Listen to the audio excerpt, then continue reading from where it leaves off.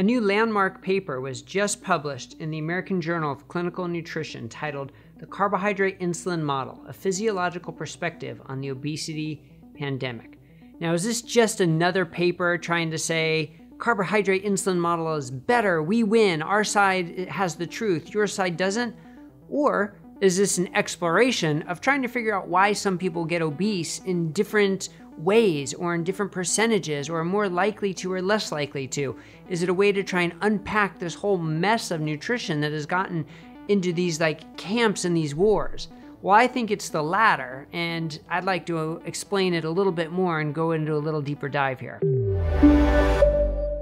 I'm Dr. Brett Scher, the medical director at dietdoctor.com. And the first thing to point out about this paper is that, sure, there are people who are, there are authors who have been long proponents of carbohydrate insulin model and long proponents of low carb nutrition. But they aren't the only authors. There are also authors who have been involved in the US dietary guidelines. There are authors who who believe in epidemiology and whole grains and fruits and vegetables, right? There's there's a mix of people who authored this paper, which is one of the the most exciting parts to start that it really was trying to sort of bridge the gap and bring in people from different areas.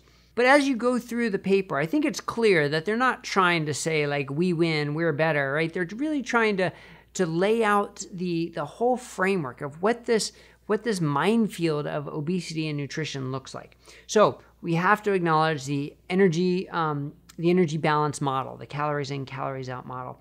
And I think they did a great job of saying that. Look, the, the first law of thermodynamics holds true, right? We're not saying that's false. Uh, in order to lose weight, you need to burn more calories than you bring in. But that's although that may be true, it's completely unhelpful to tell somebody, right? It's the old saying to have more money, you have to make more than you spend, right? Like it's a truth, but it doesn't tell somebody how to do it. And I like how that's where sort of the carbohydrate insulin model can fit in because it's trying to have a slight negative energy balance that doesn't lower your resting metabolic rate and doesn't drive your hunger. Because those are the things that both physiologically and practically are going to just turn this energy balance model on its head and make it not work. Because if you're cutting your calories and you're driving your hunger, you're not going to stick to it. If you're cutting your calories and your metabolic rate decreases, then physiologically you're not going to be able to lose weight. So, how can we cut our calories, have a slight calorie deficit in ways that don't do that? Well, a big part of that likely has to do with what's going on with your insulin. And that's where the carbohydrate insulin model and the energy balance model sort of comes together. That's sort of my words, my interpretation. Uh, the paper doesn't say it quite like that, but I like how the paper explores um, all the different concepts and, and, options. And I hope to have Dr. David Ludwig back on the Diet Doctor podcast to go into this in, in greater detail. But I think the keys are its calories and its hormones and how those work together as Gary Taubes, who's one of the authors, has pointed out in, in his books, if you look at the, the biochemistry textbooks, the biochemistry of obesity is linked to insulin, no question about it. So our approach to obesity and, and curing or treating obesity likely should also therefore be linked in some way to insulin. So it's likely that hormones affect energy balance and energy balance affects hormones. So they both are certainly interrelated. And that's where I think the energy balance and carbohydrate insulin come together.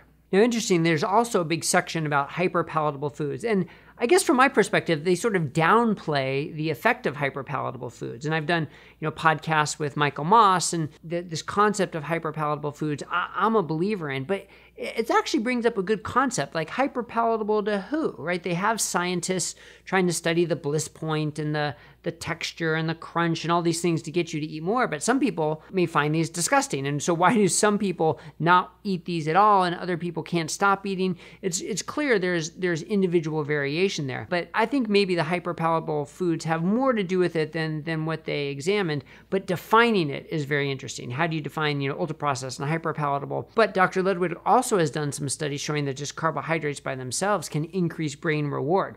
So I think it has to do with those people who are more susceptible maybe to brain reward. Um, and that can be hardwired, it can be epigenetic, whatever the case may be. But without going too much into a rabbit hole in the hyperpalatable foods, I still think that plays a big role. And just availability, um, you know, what your li- what the rest of your lifestyle is like, how you prioritize food intake. Um, if you're just eating at convenience stores, you know, all those things play into it too. So it certainly that's not that's not um, um, brought into the energy balance model, right? How you live your life and what your logistics of your life are don't have much to do with energy balance but they may be affecting your hormones because of the foods you choose to eat, maybe raising your insulin more, maybe driving your hunger more. And then, of course, there's the whole protein leverage hypothesis as well, which plays into this. And we've done podcasts with professors Raubenheimer and Simpson who came up with the protein leverage hypothesis. That plays into it as well because some high carb foods are going to be lower in protein, and some higher protein foods are probably going to be lower in carbs and are going to affect insulin a lot less. So that plays into it as well. And in this paper, they go through so many different aspects the hormonal response to glycemic load, the insulin and tissue specific insulin sensitivity, tissue specific insulin sensitivity and fat storage, insulin glucagon and adiposity, and insulin glucagon ratio, which is really interesting. And that might be part of why protein, although increasing insulin, doesn't have the same hyperinsulinemic uh, effects and the same you know, hunger driving effects as other high insulin stimulating foods. So they, they really unpack a lot of details in here, but I guess my sum up, and, and it doesn't do it all justice, it might be a little too superficial, but it really is this sort of confluence of the energy balance model, carbohydrate insulin model, and protein leverage hypothesis. And it's not one of them wins and one of them is right and one of them is wrong. It's really factoring all of them together and putting that into our nutritional lifestyle, right? In our nutritional environment. And that's what drives either obesity, metabolic health, or the lack of, of those. And that that's where I think we need to really see the bigger picture and not say it's one model or the other. So again, hopefully I'll be able to engage some of these experts to have more detailed discussions on the Diet Doctor podcast. I, I am staying saying it here to hopefully make it happen because these do deserve deeper discussions. But I want to give the authors credit for coming together, sort of coming across the aisles because maybe they didn't agree on everything and they're not in the same camp, but they thought it was important enough to say, let's explore the concepts of obesity, the different models of obesity, and see where we, we, we can come together to solve this problem. I love that coming together to try and solve the problem. And that's what we're trying to do here at Diet Doctor as well. Um, so if you thought this was helpful, please give us the thumbs up uh, and the subscribe because we'll give you more videos uh, along these lines to try and help solve this issue. Um, and if you're a clinician looking for resources to help your patients with metabolic health and with low carb living, we have a new program called Diet Doctor Pro or DD Pro, designed specifically for you. So please go to dietdoctor.com slash ddpro to learn more. Reach out to me individual individually because it's one of my pet projects that I really want to engage more clinicians to help more people improve their metabolic health, improve with healthy weight loss um, and improve their lives. All right. Take care, everybody. Bye bye.